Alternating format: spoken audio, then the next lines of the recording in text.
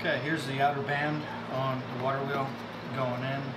These are all cut uh, 7 and 3 eighths of an inch on the top, and it's cut at a 22 degree bevel.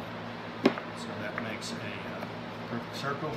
So I'll show you kind of goes on there. Goes inside.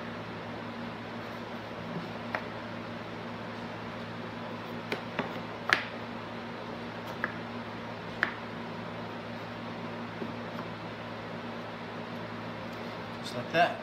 And then what I'll do is I'm gonna glue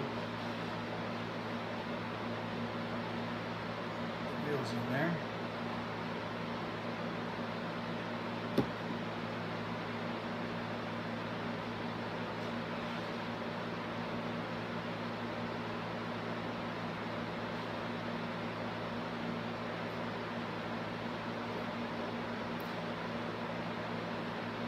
And when you're gluing end grain, you really have to do both sides of the material that you're gluing to.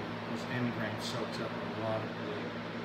So if you were just to glue one half of it, then it wouldn't hold uh, as well as gluing both sides of it. Both sides.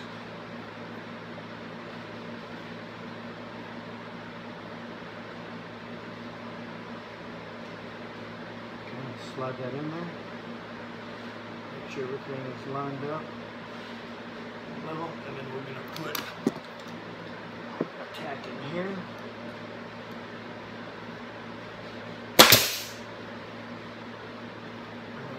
tack on that side, right. Right there. And that's it. I got seven more to go. I'm gonna let the glue dry and start working on the hub and getting the uh, wheel fully assembled.